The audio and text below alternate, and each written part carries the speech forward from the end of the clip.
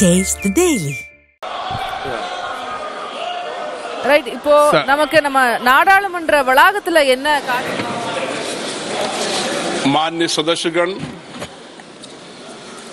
आपको बुलेटिन भाग दो के माध्यम से पहले ही सूचित किया गया है कि माननीय वित्त मंत्री जी के बजट भाषण की प्रतियां आपको हार्ड कॉपी के रूप में उपलब्ध कराई जाएगी अतः बजट प्रस्तुत हो जाने के पश्चात माननीय सदस्य बजट भाषण की प्रति प्रकाशन काउंटर से प्राप्त कर सकते हैं। आपको ये भी सूचित किया जाता है कि माननीय मंत्री द्वारा बजट प्रस्तुत किए जाने के पश्चात उसे मेंबर पोर्टल पर भी उपलब्ध करा दिया जाएगा। माननीय वित्त मंत्री जी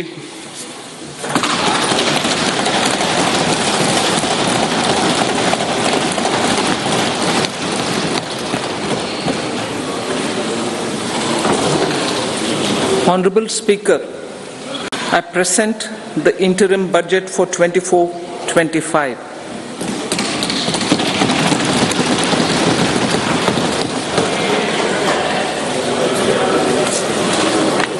The Indian economy has witnessed profound positive transformation in the last 10 years. The people of India are looking ahead to the future with hope and optimism. With the blessings of the people, when our government, under the visionary and dynamic leadership of Honorable Prime Minister Sri Narendra Modi, assumed office in 2014, the country was facing enormous challenges. With Sabka Saath, Sabka Vikas as its mantra, the government overcame those challenges in right earnest. Structural reforms were undertaken. Pro people programs were formulated and implemented promptly. Conditions were created for more opportunities for employment and entrepreneurship. The economy got a new vigor. The fruits of development started reaching the people at scale. The country got a new sense of purpose and hope. Naturally, the people blessed the government with a bigger mandate. In the second term, our government, under the leadership of Honorable Prime Minister, doubled down on its responsibilities to build a prosperous country with comprehensive development of all people and all regions. Our government strengthened its mantra to Sabka Saath, Sabka Vikas, and Sabka Vishwas. Our development philosophy covered all elements of inclusivity, namely social inclusivity through coverage of all strata of the society, and geographical in- inclusivity through development of all regions of the country.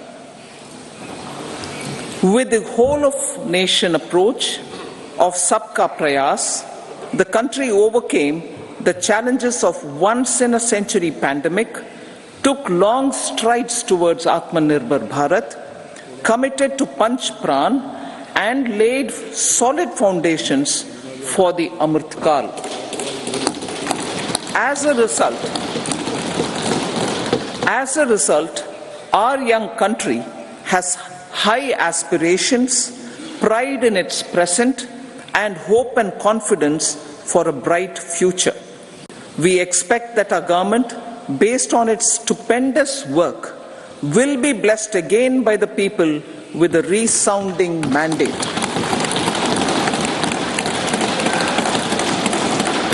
Inclusive development and growth. Our humane and inclusive approach to development is a marked and deliberate departure from the earlier approach of provisioning up to village level. Development programs were thus provisioned. In the last 10 years, however, have targeted each and every household and individual through housing for all, Har Ghar Jal, electricity for all, cooking gas for all, bank accounts and financial services for all in record time. The worries about food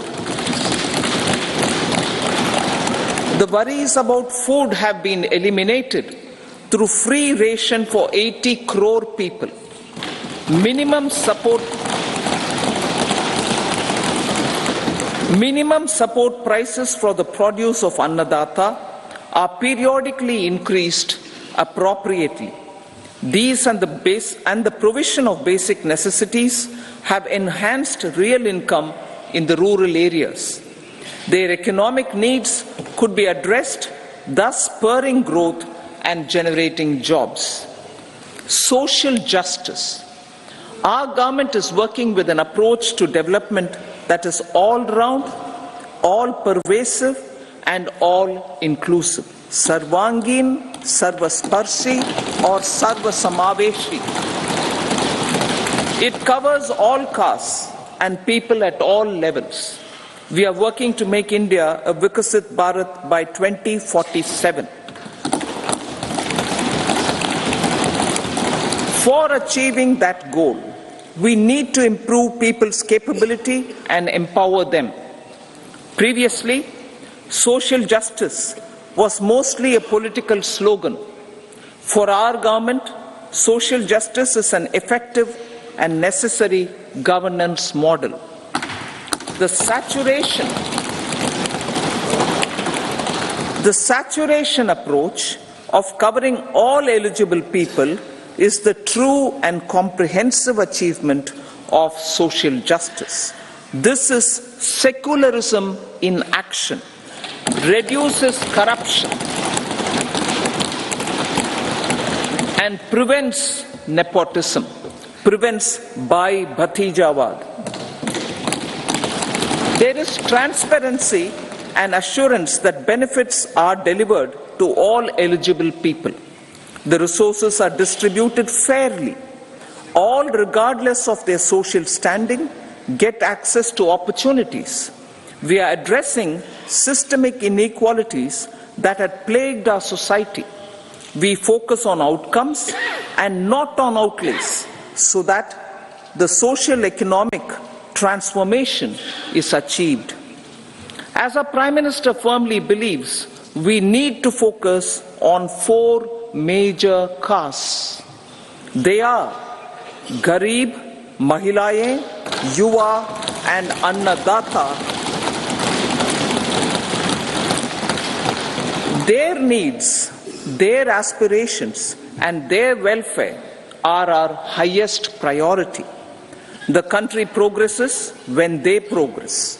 All four require and receive government support in their quest to better their lives. Their empowerment and well being will drive the country forward. Garib Kalyan, Desh Ka Kalyan. We believe in empowering the poor. The earlier approach of tackling poverty through entitlements had resulted in very modest outcomes. When the poor became empowered partners in the development process, government's power to assist them also increases manifold. With the pursuit of Sabka Saath, in these 10 years, the government has assisted 25 crore people to get freedom from multi-dimensional poverty. Our government's efforts are now getting synergized with energy and passion of such empowered people. This is truly elevating them from poverty. Direct benefit transfer of 34 lakh crore rupees from the government using PM Jan Dhan accounts has led to savings of 2.7 lakh crores of rupees for the government. This savings has been realized through avoidance of leakages prevalent earlier. The savings have helped in providing more funds for Garib Kalyan. PM Swanidhi has provided credit assistance to 78 lakh street vendors. From that total, from that total of 78 lakh street vendors, 2.3 lakh have received credit for the third time. PM Janman Yojana reaches out to the particularly vulnerable tribal groups who have remained outside the realm of development so far. PM Vishwakarma Yojana provides end to end support to artisans and craftspeople engaged in 18 trades. The schemes for empowerment of Divyangs and transgender persons reflect firm resolve of our government to leave no one behind.